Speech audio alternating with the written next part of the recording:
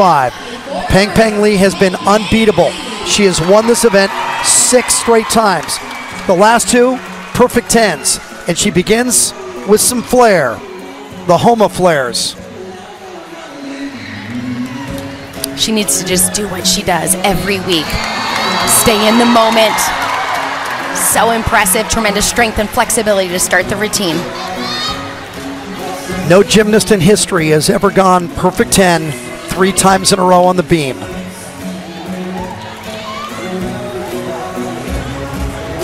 Tumbling series right here. Big layout, two feet, moving right out of it, back into the dance.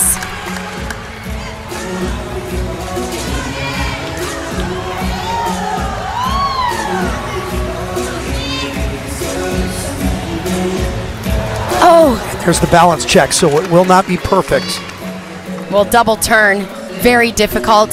She's gonna repeat it into the combination. To get full credit,